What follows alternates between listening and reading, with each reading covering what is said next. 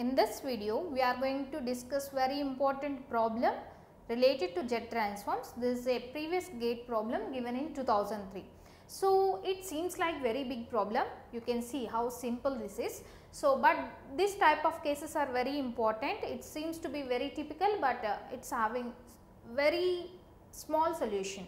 So, the sequence x of n with z transform x of z is equivalent to z power 4 plus z square minus 2z plus 2 minus 3z power minus 4 is applied to an uh, is applied as an input to a linear time invariant system for an LTI system with impulse response h of n is equivalent to 2 del of n minus 3 the output at n is equivalent to 4 is what they are asking. So, they have an LTI system with impulse response h of n this h of n is given. So, they are exciting this system by x of n but x of n is not given the transform of x of n is given and what is the output what is the output y of n at n is equivalent to 4. First we need to find out y of n after that we need to substitute n is equivalent to 4. The process for this is generally y of n is equivalent to x of n convolution with h of n input convolution with impulse response. But convolution is somewhat typical. So, that is why I am processing in frequency domain. So, convolution in time domain leads to multiplication in frequency domain. So, h of x of z is given, h of n is given by taking z transform to that we will get h of z. So, by multiplying that and after reverting after taking inverse z transform we are going to get y of n. So, you, you are having x of z that x of z is multiplied with h of z and finally you will get some value for y of z and in that for that value to get y of n again you are taking inverse z transform of y of z. So, you are getting value of your signal in that value you are going to substitute n is equivalent to 4 this much procedure you need to follow. But if you know a simple technique, if you know a simple note about this problem, you can easily complete this problem. So, here they given h of n is equivalent to 2 del of n minus 3. So, that is the key point to this problem.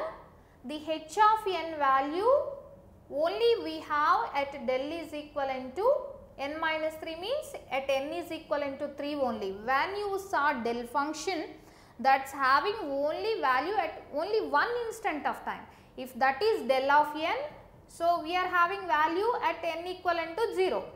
So, if they given n minus 1 then this is equivalent to 1 at n is equivalent to 1 only. At this places only these functions are having value.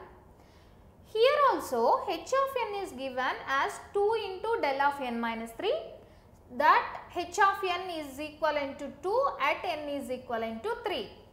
In all other cases h of n value is equivalent to 0. At n equivalent to 3 you will get del of 3 minus 3 del of 0 value is 1 2 into 1 2. In all other cases your shifted del function will show you 0. So, for example, in this convolution if you are having so many values of x of n even though you are having so many values of x of n our h of n is having value only at n is equivalent to 3. But what they are asking the output at n equivalent to 4 they are asking. For example, if you calculated and if you substituted n equivalent 4 you are supposed to get 0. Why? Because in the impulse response of the system itself at n is equivalent to 4 the impulse response of the system is 0. If the impulse response of the system is 0 how will get the output? If the response of the system is 0 how will we will get the output? We are not going to get the output.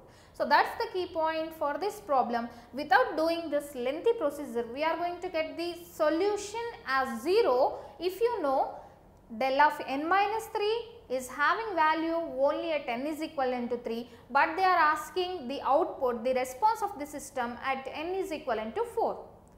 So, at n is equivalent to 3 only at that discrete instant of time only the system shows the response when n is equivalent to 4 the system is not going to show any response. Why? Why? Because at that n is equivalent to 4 the impulse response of the system is equivalent to 0. If the impulse response of the system is equivalent to 0 or input of the system is equivalent to 0, what are the cases that we will get 0 output? Whether we are not giving any input or whether the impulse response is 0. In these two cases, we are going to get 0 as our response. For example, if x of n is equivalent to something like this and h of n we are having some other value. In that case also, whenever you saw del function, only one instant of time you are having value. So, here at n is equivalent to 4 definitely your y of n without calculation we can say this is equivalent to 0. The response of the system is equivalent to 0. We can't see any response from the system.